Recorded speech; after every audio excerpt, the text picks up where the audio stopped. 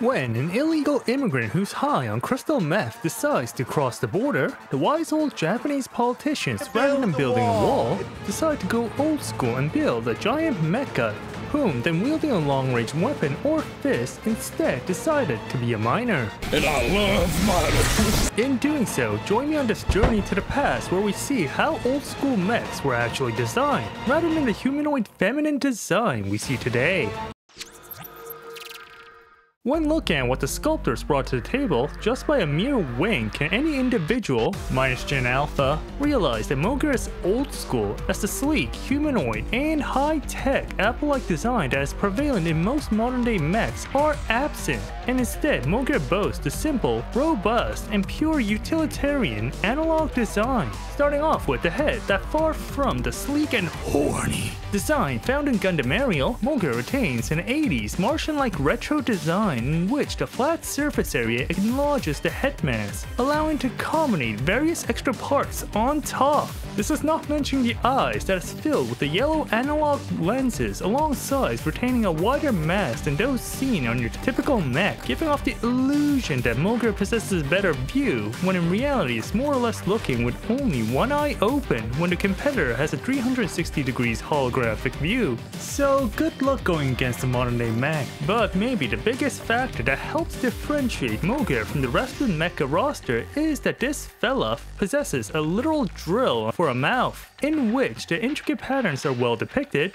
the gunmetal color scheme is well embedded, and the drill can actively move sideways. That makes it the perfect tool when drilling targets, both figuratively and literally. Moving down to the neck, good luck trying to break this fella as Moger, unlike those of your typical Gundam or mobile suit that literally lacks a vertebrae, holds in possession not just neck, but a Gigachad one at that in which the external titanium armor encases the vital mobile mechanisms at the core, but such gigachad nature isn't helped by those broad and thick shoulders that retain the similar materials on the neck and help it mobilize those arms. And look at the chest. Let's be honest here, I've seen mechanical chests of varying degrees, but out of all of them, Moger's is the flattest of them all.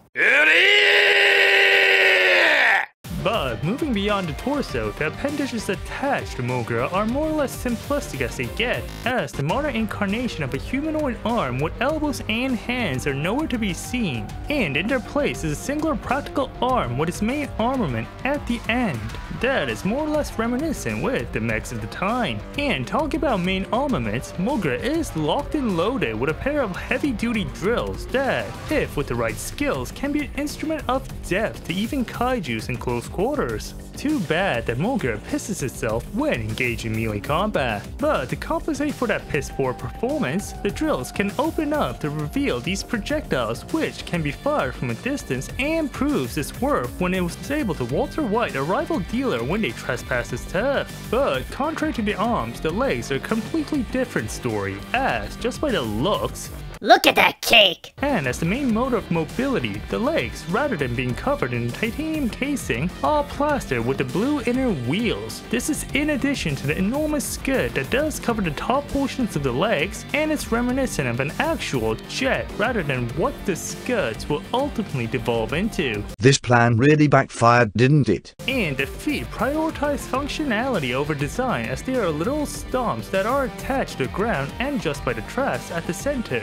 That's similar to your modern day tanks apps to mobilize the mech rather than using them like actual feet as seen through most modern day iterations. But if you look closely, by lifting up the feet, there are jet boosters which help to propel Moger when the mech is required to engage in flight, and with the aid of the tail booster, makes Moger a force to be reckoned with in the air, unless you're either a space traveling kaiju or a Gundam. But there are occasions where doing from the rear is more preferable, in which Moger comes prepared as the biggest surprise this mech comes with is a colossal saw blade situated on the back. And such blades, similar to the giant drills, allows Moger to resist any threats that like to do it from the rear, or if you're a WWE fan, can conduct a suplex with efficient results. But to test that in front of camera, but maybe a product of his time, or trying to adhere to Mogura's extraterrestrial kaiju origins, this iteration of Mogura possesses a thick, sturdy, but short mechanical tail that with an additional joint, but nowhere near to those of his kaiju-esque counterparts, allows Mogura to flex his meat over contemporary mobile suits to organic mechs. But this tail isn't here just for the riz, as by observing the edge of the meat is there an opening that functions to eject the wasted material for a much much needed propulsion. And if that sounded weird, what's wrong with you? When looking at the roster that Mogura is accompanied by, this is especially true with the latest MonsterArts roster as, unlike Mogura over here, they are usually accompanied by a single pair of hands or nothing at all. And don't tell me because it's a premium Bandai figure, as Monster X, also a premium Bandai figure, came with just hands. Hey. Firstly, there is this hanger that well sculpted with the various patterns and carvings well embedded. The paint job is singular, with the olive green drab being lazily applied, and if it's a model kit in which, with a reasonable price and the roll of the bar to both assemble and paint the kit, but this is a premium figure in which I had to cough up an absurd amount of money, so I expected Bandai to actually serve me a premium accessory where everything was painted neatly. Then again, what did I really expect from a premium Bandai figure? But a neat gimmick regarding this accessory is that the hanger can move at several points in which by pulling the center, spreading the sides, and placing the figure in the middle, you can recreate when Mogura is undergoing preparations. But just in case,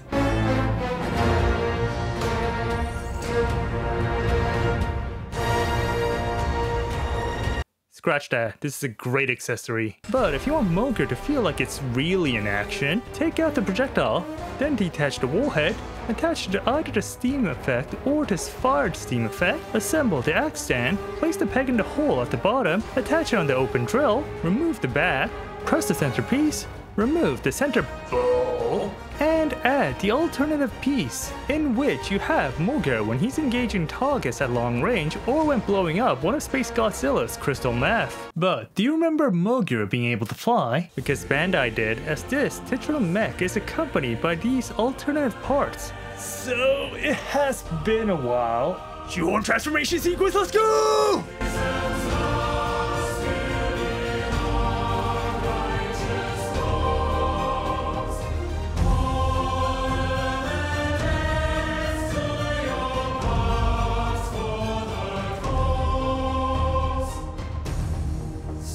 Here you have Mogura when it's in flight, in which it is beautifully recreated with the terrestrial components being replaced or reshaped to reduce air drag for a more aerodynamic form that enables the titular mech to engage in either aerial dogfights with similar kaijus or to perform a literal kamikaze run on terrestrial targets. But the figure is heavy, so placing it on a stand might be difficult down the line.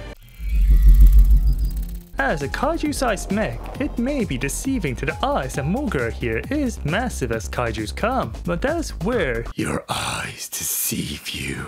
as this is an SH MonsterArts and not your Hiya Toys, in which scaling has not been this line's strong suit. But that's so, Mogura here is still a mech and not your Gundam mech, in which it still stands pretty tall with a whopping 16.5 centimeters or 6.49 inches tall. Here's Mogura next to Gunpla, Demons Among Us, Underage Miners, and Gojira, Godzilla, Godzilla, Godzilla, Godzilla, Godzilla, Godzilla, and Godzilla. Now, if you're familiar with the SH MonsterArts line, they're more or less stiff compared to your typical Japanese counterparts, where any signs of joint flexibility prowess is, You're a fucking disappointment. With only a few exceptions. And look at the brick house that is Mogura here. Just guess, just guess how it's gonna turn out. The head. neck movement. What neck movement? Shoulders can lift pretty well for a mech made during the 70s. Hardly any elbow movement. Hands. What hands? Torso. God.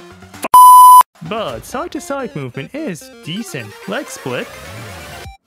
My disappointment is immeasurable. Where's the knee movement? Where's the knee movement? Bare bones feet and a decent tail is what I would say if Mechagodzilla didn't come out before. So, regarding movement, I don't want peace. I want problems, always. So, regarding my final thoughts, the SH MonsterArts iteration of Mogura, G-Force Storage Dock Sally version, was a surprise, and a welcome one at that, as recent SH MonsterArts releases have been a disappointment after disappointment, especially with their competitors further encroaching with future releases. But that is not the case with Mogura here, as not only did Bandai put in their A game where the sculpting and paint job is beautifully applied with no hiccups unlike their previous releases, alongside the abundance of accessories that add to the play factor of the particular mech, with the hangar bay being able to accommodate other Bandai produced mechs. The only gripe I have is the limited range of articulation that makes even the Hiya Toys Godzilla cry. But then again, Mogura was more or less stiff in its on-screen appearance, so I can't really fault Bandai for their choice. With that out of the way, if you're a fan of Mogura here, I would definitely recommend this figure and give it a ranking of an A minus.